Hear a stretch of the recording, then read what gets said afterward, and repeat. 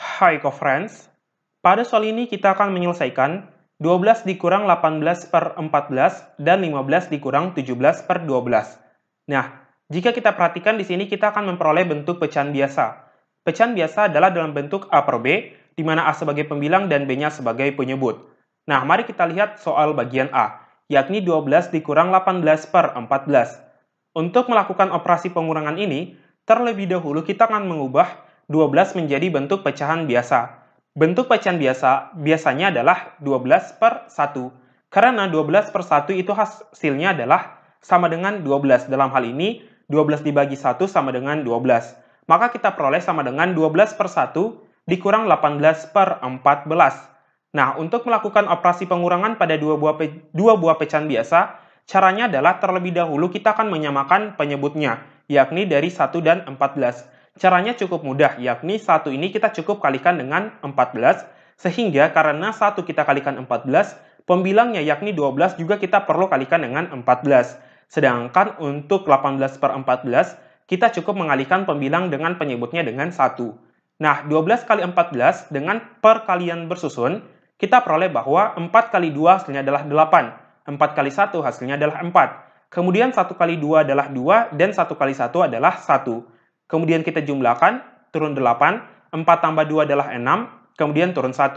Sehingga kita peroleh sama dengan 168 per 14 dikurang 18 per 14.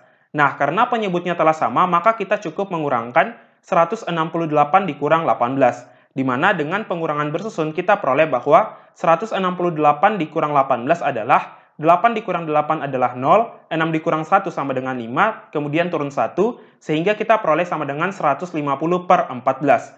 Nah, bentuk 150 per 14 ini masih dalam bentuk yang belum sederhana. Sehingga kita bentuk menjadi yang paling sederhana dengan mencari FPB dari 150 dan 14. FPB adalah faktor persekutuan terbesar, di mana kita dapat gunakan metode tabel, yakni kita akan membagi 150 dan 14 dengan faktor prima, yang mana kita dapat mulai dari faktor prima yang paling kecil. Di sini kita dapat mulai dari 2. 150 dibagi 2 adalah 75.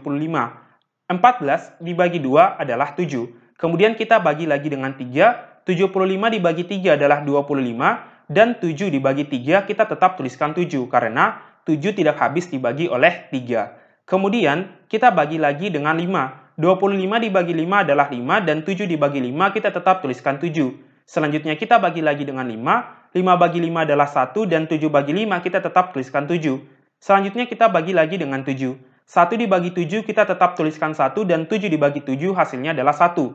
Nah, karena hasil akhir kita telah peroleh bentuk 1, 1, maka kita hentikan prosesnya. Dan untuk menentukan FPB-nya adalah kita cukup melihat faktor prima mana saja yang dapat membagi habis kedua bilangan tersebut. Nah, di sini kita peroleh bahwa satu-satunya faktor prima tersebut adalah 2, sehingga FVB-nya sama dengan 2. Karena FVB-nya sama dengan 2, maka pembilang dan penyebutnya kita akan bagi dengan 2. 150 bagi 2 adalah 75, dan 14 dibagi 2 adalah 7. Sehingga kita peroleh 12 dikurang 18 per 14 sama dengan 75 per 7. Nah, dengan cara yang sama, maka untuk bagian B, 15 dikurang 17 per 12 adalah 15 per 1 dikurang 17 per 12, yakni 15 kali 12 per 1 kali 12 dikurang 17 kali 1 per 12 kali 1. Nah, 15 kali 12 adalah dengan perkalian bersusun kembali, kita peroleh sama dengan 180. Maka sama dengan 180 per 12 dikurang 17 per 12. Nah, kita kurangkan lagi pada bagian pembilangnya saja, di mana 180 dikurang 17, kita dapat peroleh hasilnya adalah dengan pengurangan bersusun sama dengan 163. Maka kita peroleh bentuk 163 per 12. Nah, mudah kan ke friends? Kita sudah selesai mengerjakan soalnya. Tetap semangat belajarnya ya kok friends.